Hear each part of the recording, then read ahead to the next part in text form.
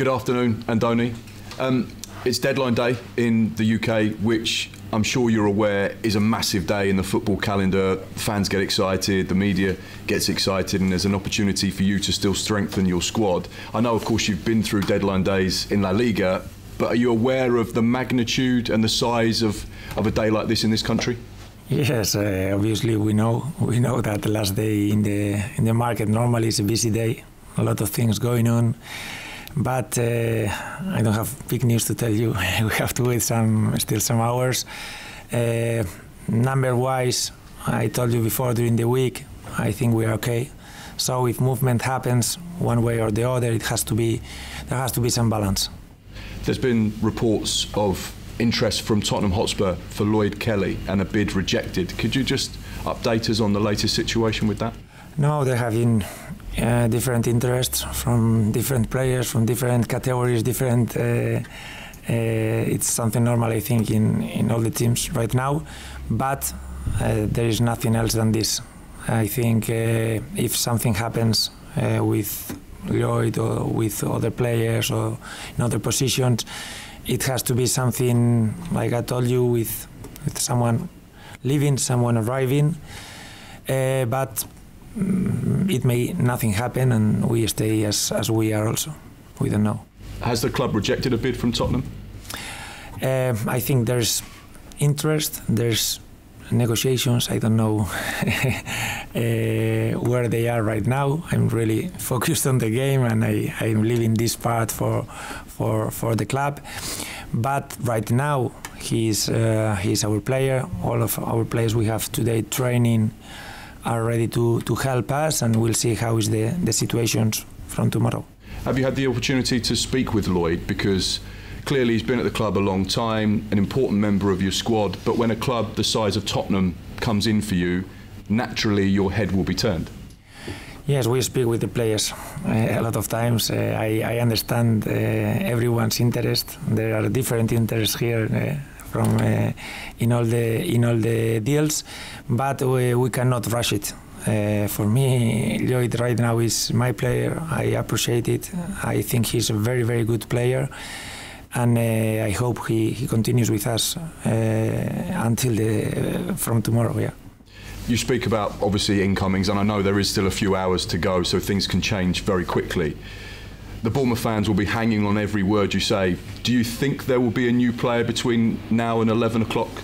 Uh, there are different situations, but a lot of interests have to collide, you know, because it's not, it's, uh, uh, right now we have to balance everything.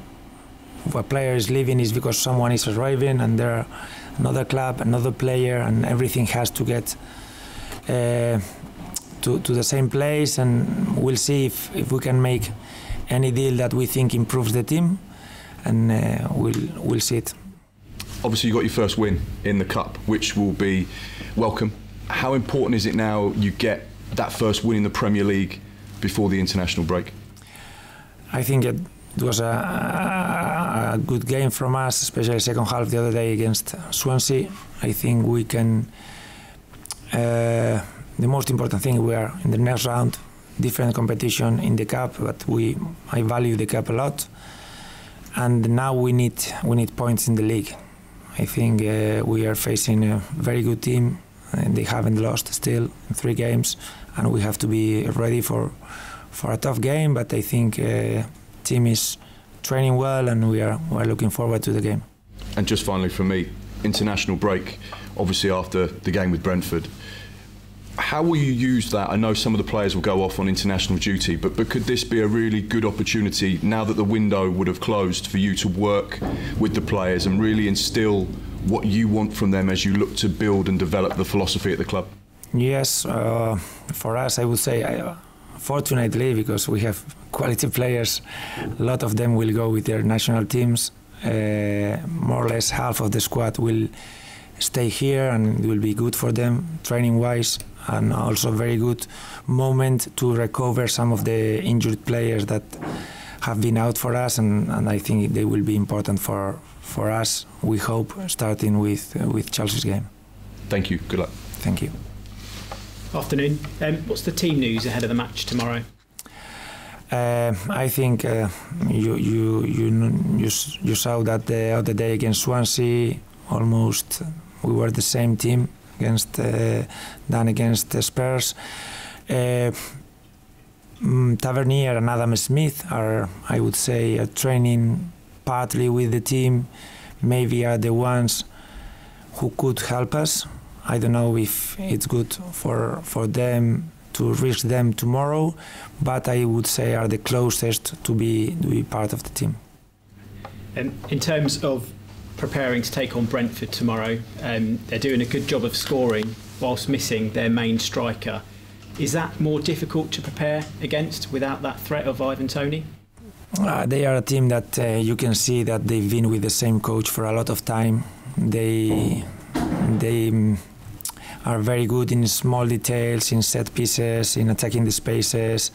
You see a team that is very well worked, very well organized, and we we have to be ready for, for this challenge because they are they are dangerous. Yeah. And in terms of Thomas Frank as a head coach, do you take much inspiration in what he's achieved at Brentford to what you could maybe replicate? Yeah, I think uh, it's a, a good reference because they've been very good with uh, with a good core of players that have been improving. They got promoted and they've established them in the in the Premier League. They are doing really well, and uh, it could be a, a good reference. Yes. And just a quick question on your previous role. You would have faced Ansu Fati a couple of times last season. He could be a Premier League player today, and you'll face him in a couple of weeks. Uh, what kind of thing would we expect to see from him in the Premier League? Ah, Ansu is an amazing player. Uh, he can play, I would say, wide. He can play as a nine, as a second striker, and his relation with the goal is, is very close. If we, if uh, he he gets close to the to the box and he has the chances, he will score for sure. So I think uh, for Brighton, it's a it's a very good signing. Thank you. Thank you.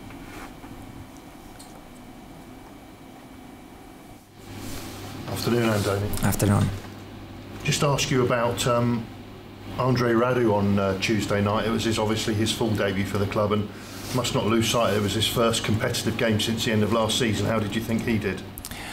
Yes, I think it's good news. New players uh, start getting the the minutes. Uh, uh, for sure, he wasn't happy because at the end uh, he conceded two goals and without a lot of threats. But we we we we gave a, a penalty early and uh, shoot from outside at the end. But at the end, we, we won the game. That is the, important thing. Also, he will be willing to to push also Neto and uh, fight for for the position. It's what we need from all the players. And just finally, uh, on international duty, Milos Kerkez is going away with Hungary to play Serbia, the country where he was born. Now, what have you made of him so far? He seems a very infectious character. Yes, I think he's a player with the willingness to grow as soon as he can. He's very young, but he he wants to prove everyone that he's ready for, for the Premier League, and that's what he's doing first games. I think he's. Uh, we are demanding him a lot because uh, we are pushing him. He's young.